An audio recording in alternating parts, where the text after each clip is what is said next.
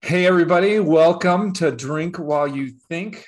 I'm your host, Matthew, and this is definitely not Kenji. Today, we are talking about all things marketing for accounting firm owners. So, every tidbit that we can think of, marketing tips, we're going to go. And since Kenji knows nothing about marketing and is useless, I have asked Brooke Beach to join us. Uh, for those of you that don't know Brooke, she runs a firm called MarketWake. MarketWake has been doing Acuities marketing since I looked this up, 2015, Brooke. Which is, I know, which is really weird because it was like pre MarketWake, but also MarketWake. Yeah. I, I, mean, we were one of the first customers, which is kind of crazy. And first.